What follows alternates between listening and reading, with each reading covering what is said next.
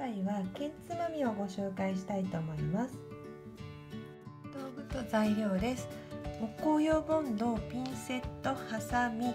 あとこれはあのちりめんが入ってた袋をこのぐらいに切ったものです。あと爪楊枝と材料が、えー、ちりめんが4センチ ×4 センチのものを10枚。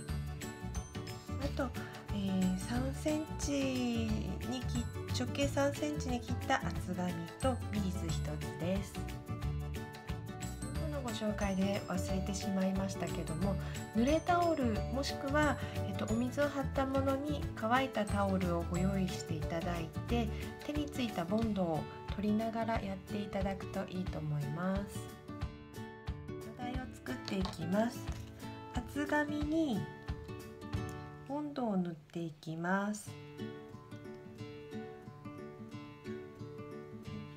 でちりめにペタッと貼ります。周りをぐらいに落としてまた厚紙にこの上にボンドを塗ります。でこれをこう内側に折り込んでいきます。で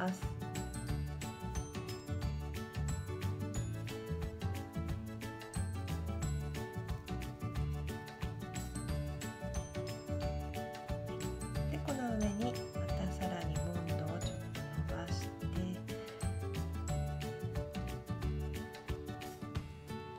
こっちにペタッと貼り付けます。で周りをとして。これで土台は完成です。お花を作っていきます。まず三角にこう折っていただいて。でこれをこうこっちに折ります。ここまでは丸つまみと一緒なんですけどもここからまたさらにこっちからこう持ってきていただいて。こんな感じに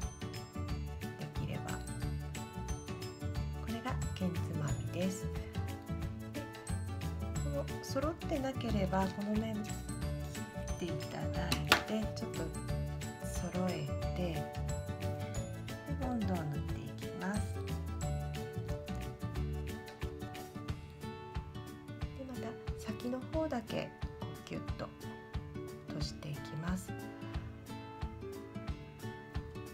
回けんつまみご紹介した葉っぱの時にけんつまみをご紹介したんですけどその時は全部グッグッとこう閉じたんですけども、えっと、これはここに置いていくので先だけこうキュッと閉じていただいてあとはこんな感じで置いていきます。また中心に花びらの先端を合わせて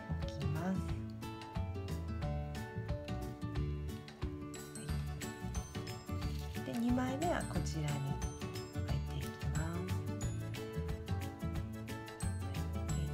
つまむ時にこうこういくとここがずれやすいのでもしそれがうまくいかないなという方は最初に三角にこう折った時にこの面にこの部分にちょっとだけボンドをこうてでここでクッと閉じていただくと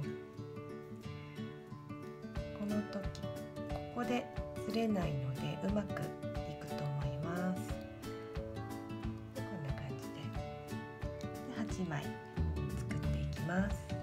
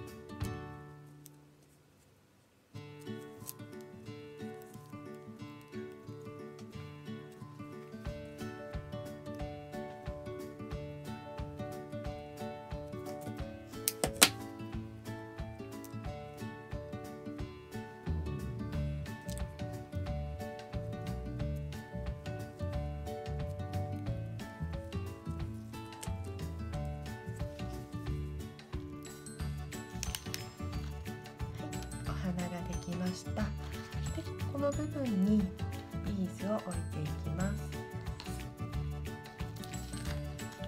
今回もペップを使わないのでこのぐらい。ボンドを置いていただいて上に。